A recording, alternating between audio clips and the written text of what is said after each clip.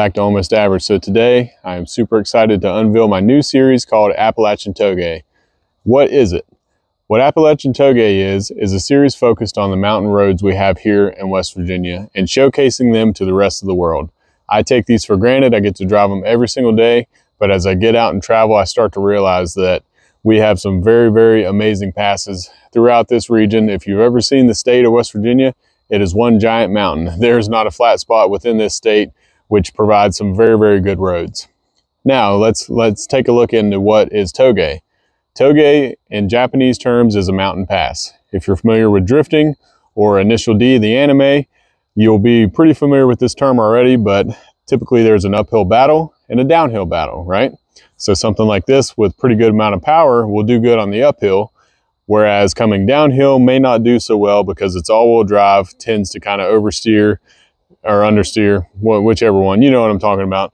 But if you have a lighter weight car like the 8.6 in the Anime, they do very well. They can drift downhill, things like that. So depending on your car, you might do better on one or the other. Now we're not here to break any laws today.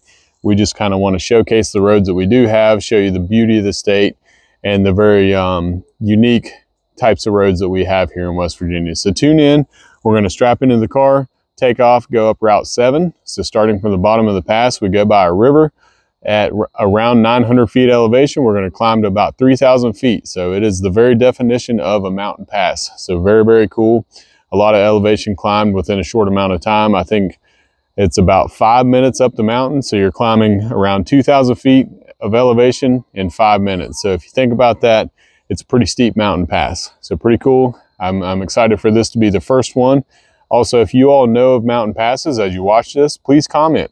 If it's in the West Virginia, Virginia, Tennessee, North Carolina region of the Appalachian Mountains, please let me know. I would love to go drive them and showcase them. I kind of want to make this either a weekly, at this point, probably more so of a monthly uh, type of series, depending on how popular it gets. And this takes us away from wrenching in the driveway gets us out here on the car, driving and enjoying all the hard work that we put into this thing. So again, step away from the driveway, get into the driver's seat and really enjoy these things because that's why we do it, right? All right, let's strap in.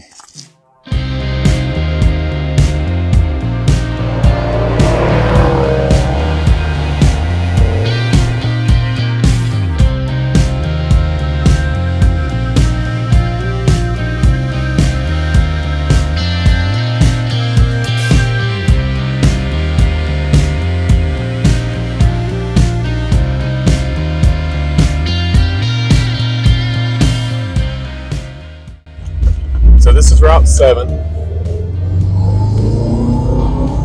Going up the mountain to Terra Alta is a very fun road to drive. Lots of curves, and I think you climb about 3,000 feet in elevation, so it is an uphill battle for sure. Now, I'm not going to be drifting up this road by any means because we're trying not to break any laws here. But that being said, we're going to uh, explore every aspect of 55 miles per hour. Very fun uh, road to drive up through here. The uphill's pretty tricky, not gonna lie. Hopefully there's not a lot of traffic today and we can uh, really test out this suspension.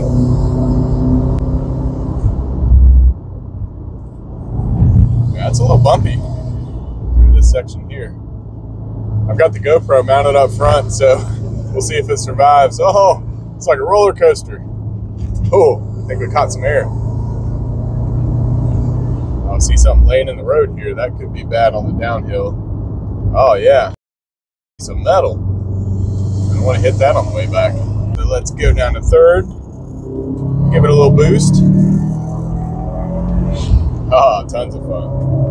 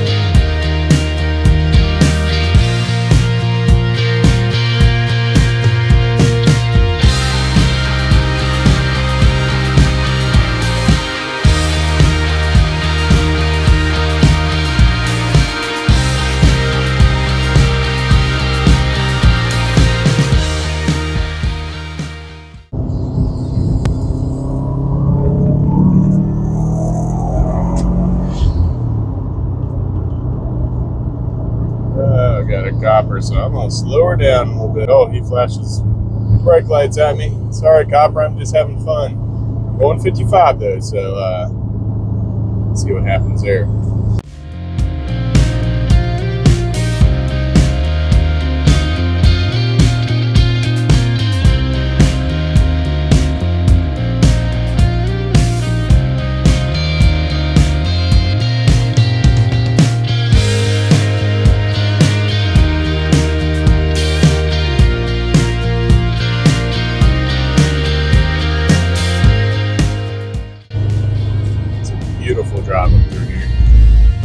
Wait till we get up top. You can really, everything opens up when you get up on top of the mountain. Beautiful views up here.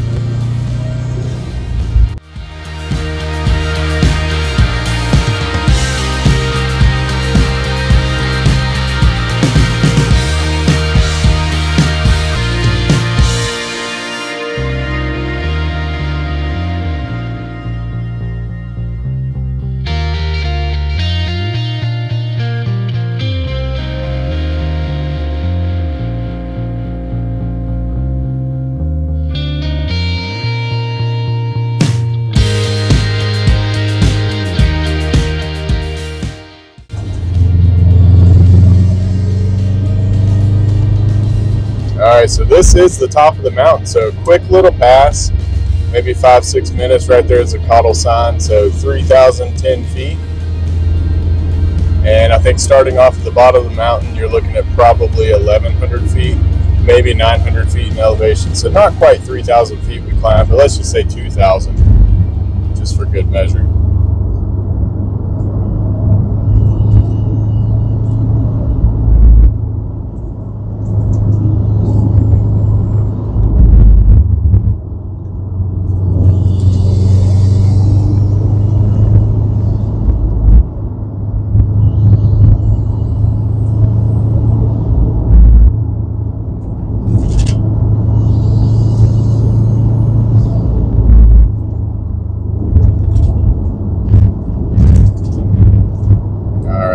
GoPro really shows a lot of this because it is beautiful up here.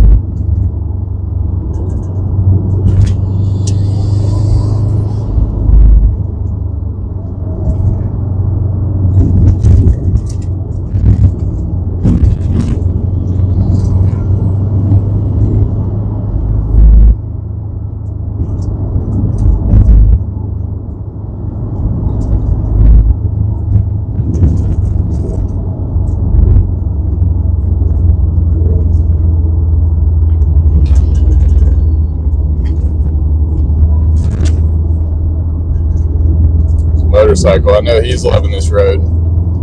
Check this out. I hope the camera really captures all this because once you get here to the top of the mountain pass, it's so cool. We got cattle everywhere. You really are on top of the world. I'm going to try to turn around up here. I think they call it Evans Curve. You can see a lot. I'll kind of hop out with my phone too and record around a little bit.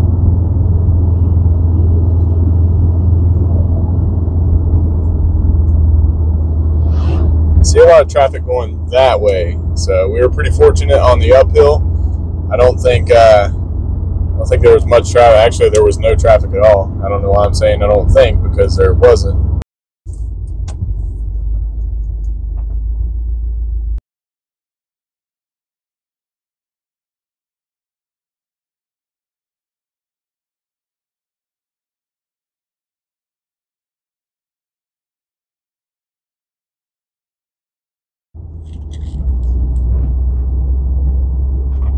So the purpose of this series really is just to showcase these beautiful Appalachian roads.